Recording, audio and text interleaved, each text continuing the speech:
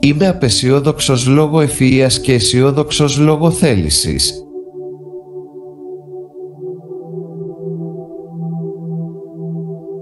Η ιστορία διδάσκει αλλά δεν έχει κανέναν μαθητή.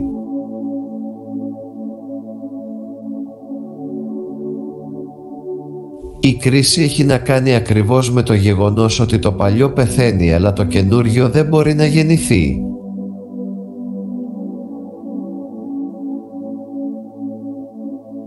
Το να λέμε την αλήθεια είναι επαναστατικό.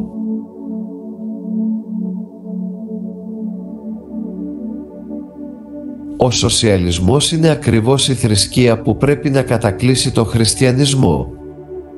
Στη νέα τάξη πραγμάτων, ο σοσιαλισμός θα θριαμβεύσει συλλαμβάνοντας πρώτα τον πολιτισμό μέσω της διείσδυσης στα σχολεία, τα πανεπιστήμια, τις εκκλησίες και τα μέσα ενημέρωσης μεταμορφώνοντας τη συνείδηση της κοινωνίας.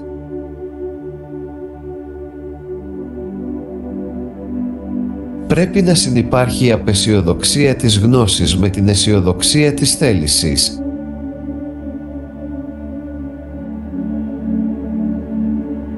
Κάθε κράτος είναι μία δικτατορία.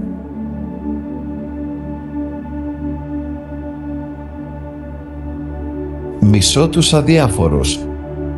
Πιστεύω ότι το να ζει σημαίνει να έχεις ενταχθεί κάπου. Όποιος ζει πραγματικά δεν μπορεί να μην είναι ενεργός πολίτης και ενταγμένος.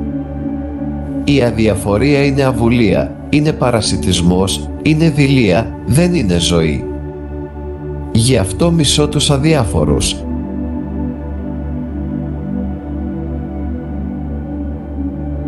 Αυτό που συμβαίνει δεν συμβαίνει τόσο επειδή λίγοι θέλουν να συμβεί, όσο επειδή η μάζα των πολιτών παρετείται από τις ευθύνες της και αφήνει τα πράγματα να γίνουν.